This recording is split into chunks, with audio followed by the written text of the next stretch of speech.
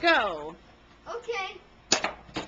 All right, you just broke your T. All right, go ahead, So Madison. what we have here It's is a a boat. boat made out of cardboard that David here wanted me to make. Yeah, but I want to have another, like, layers, another layer. Let's just see how this works. Be you're the captain of this ship, David. Come It on. has saran wrap at the bottom and Come on. little tiny sails. And it's called the Madi David. It's right there. Very nice. All right, come on. Let's see how We're it floats. see if David can fit in But I want another layer, but Madi is too darn gross. Okay, I christened thee the Madi David. It's maiden voyage.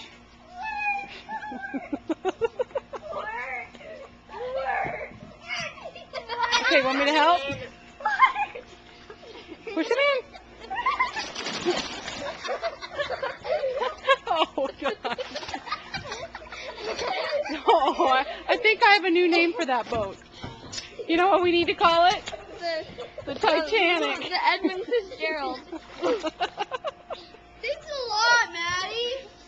well, I wanted to have another layer. I don't think another layer would have done it. Yeah, it would no. I want to try. I want to do it again. Don't you get in it with your clothes on? No, go get a bathing suit do on. it again. We have to go to piano. I think it's gonna fall apart. Brighton, can you push him in?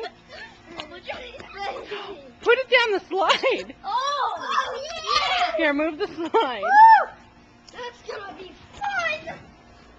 That's gonna be fun. Here, let me make sure it's not too close to the stairs. All right, push Brighton. Let's see.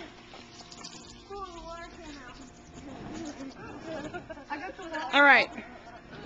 Okay, ready? I need to get in. All right, look out, Brighton. Next time you come, bring your. Oh man, the bottom's falling apart.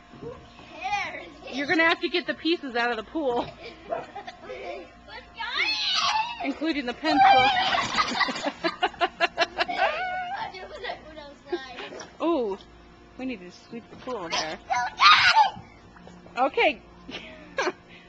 Your boat's falling apart. Get, get the pieces. Bye, Captain David. Why? That was so cool!